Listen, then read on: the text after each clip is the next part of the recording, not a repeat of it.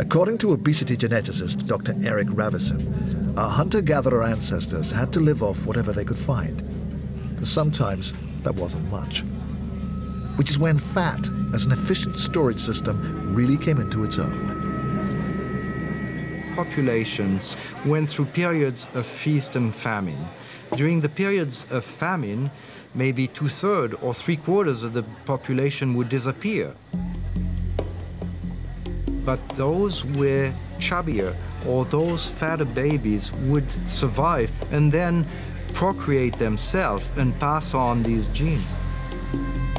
So according to this theory, at times of famine, it was literally a case of the survival of the fattest.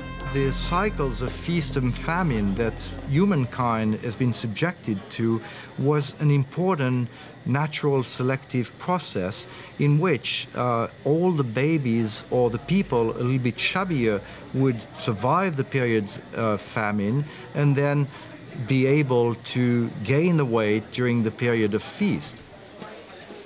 This could explain why large parts of the population have a tendency to lay down fat stores easily.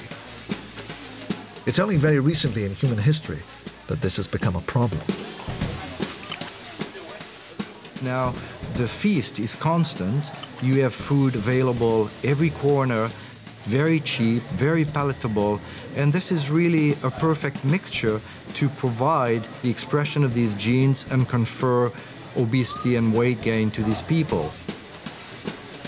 And I think that the stigmatizing of the obese population is wrong because those were the survivors. Those are the people who would survive a difficult and tough environment.